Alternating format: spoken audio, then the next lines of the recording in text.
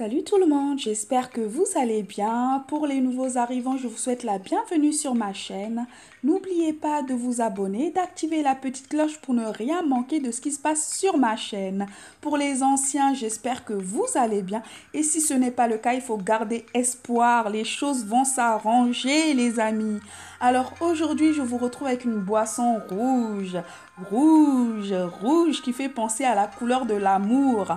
Mais non, aujourd'hui, on ne va pas parler d'amour. Je suis désolée pour les gens qui sont romantiques.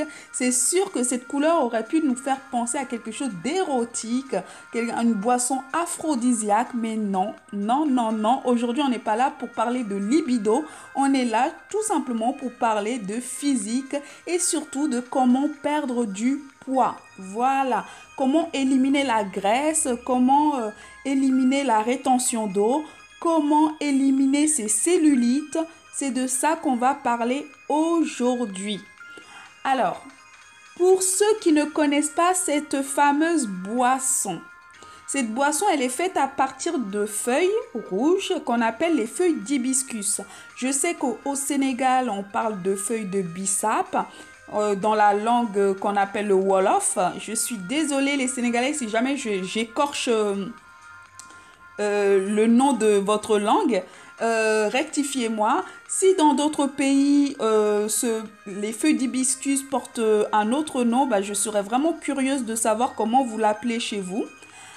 Bref, Rentrons dans le vif du sujet parce qu'il y en a certains, ils aiment bien qu'on rentre dans le vif du sujet, donc on y va. Alors, pour faire ta boisson, il te faudra de l'eau, également des feuilles d'hibiscus ou feuilles de bissap si tu es au Sénégal.